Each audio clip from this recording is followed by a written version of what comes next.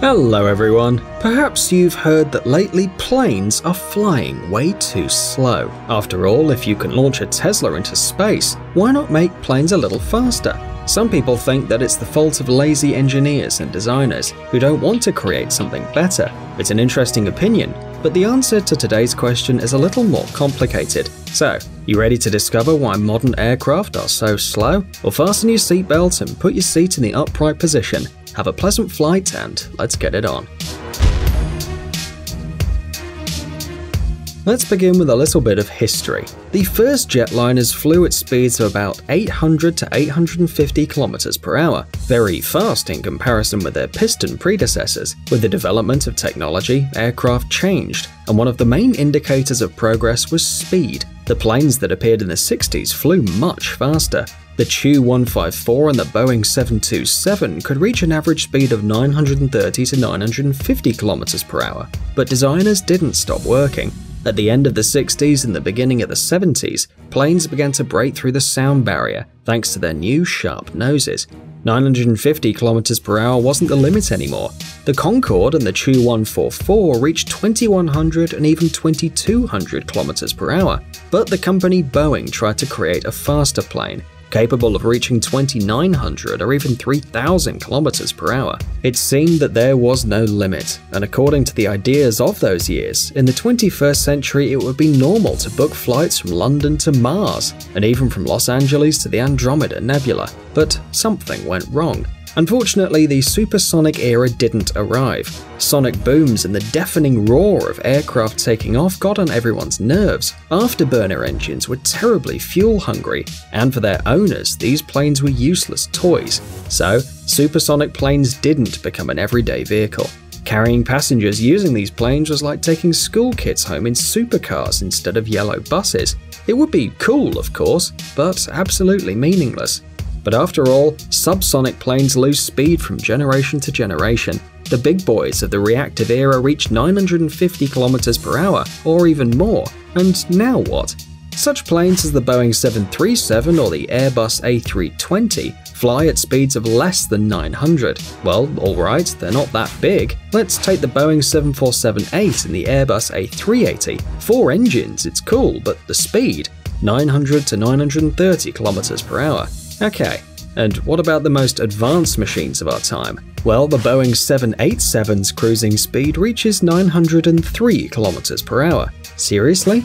And the Airbus A350 XWB's basic cruising speed is the same. So, here's the question Why do the most advanced modern airliners travel slower than their grandfathers? The fact is that an aircraft is a complex system with a huge number of different parameters, which must be balanced and some characteristics improve at the expense of others. But stop, stop, wait.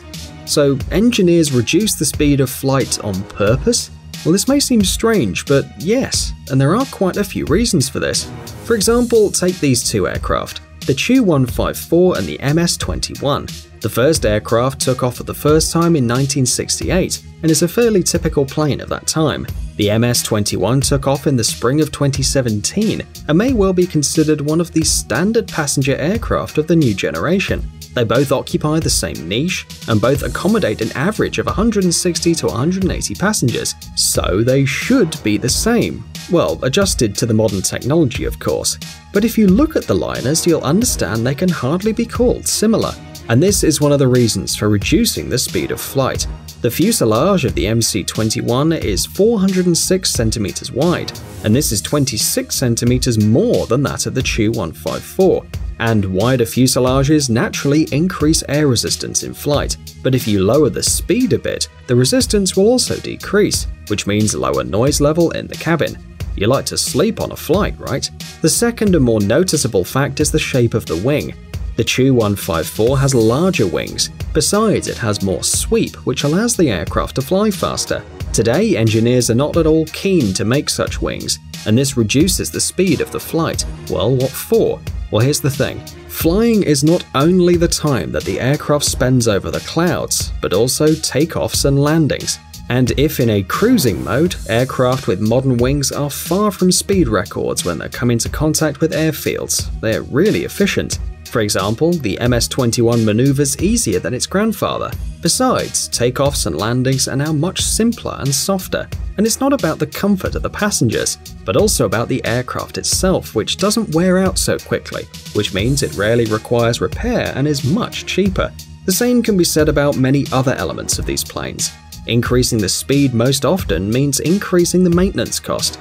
In addition, the closer the aircraft is to the sound barrier, the more stringent the requirements for aerodynamics are. But the main reason for reducing the speed of modern aircraft is the engine. The most modern large airliners have a turbojet engine. You probably know what we're talking about. You can see them on almost all airplanes, and they lift the aircraft above the ground. Turbojet engines use not only fuel as a working liquid, but also air, which is accelerated, heated, and discharged at a frantic speed through the nozzle, thus creating traction.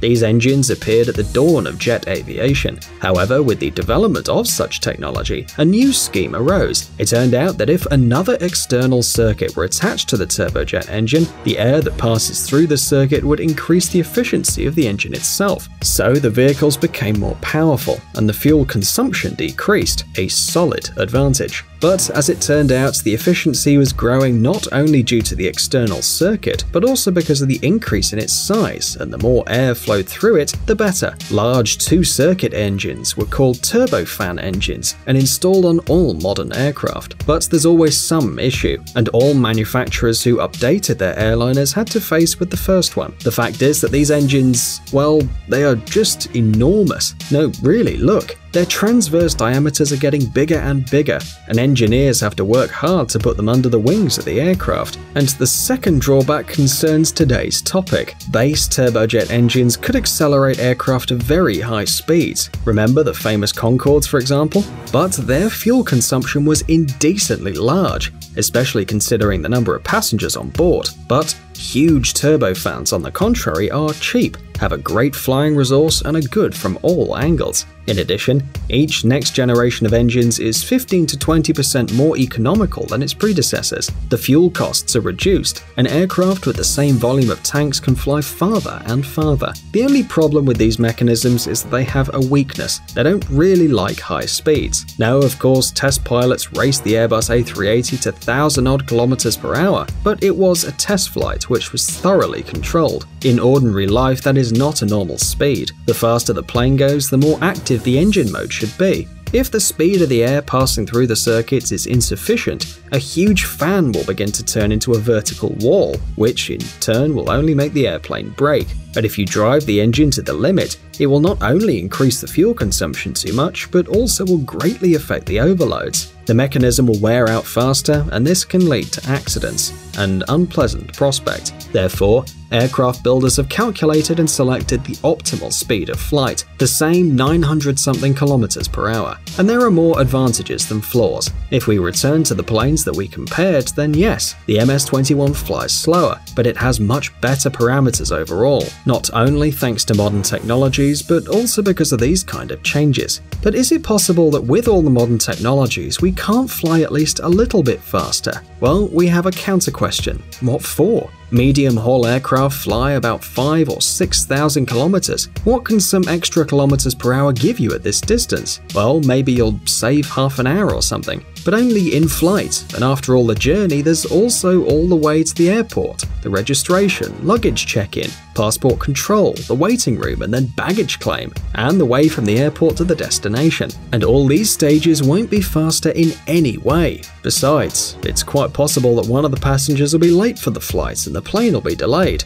And that's it, that's half an hour lost now. Well, okay, you might say, well, how about long distance flights? Well, at first glance, it seems higher speeds won't hurt, right? But for airlines, the fuel consumption and, for example, the cycles of takeoffs and landings of the liners are more important than the flight speeds themselves. In addition, fuel consumption is not just money. Don't forget that the fuel reserves of the aircraft won't change, and the increase in consumption may result in a reduction in range. It's much cheaper for airliners if you sit in a comfortable chair, turn on a film, and eat once more, than to take it quicker. From the point of view of the passenger, this situation is also optimal. Yes, the flight can be long, but it will be comfortable, and higher costs for speed will definitely increase the cost of tickets. Of course, for some people, time is more valuable than money, but let's be honest, these people prefer to use business jets. Ordinary travelers choosing between speed and cost most often will choose the latter. However, this is not a reason to be upset. New, faster, and at the same time more comfortable public aircraft will certainly appear, but this process will take some time,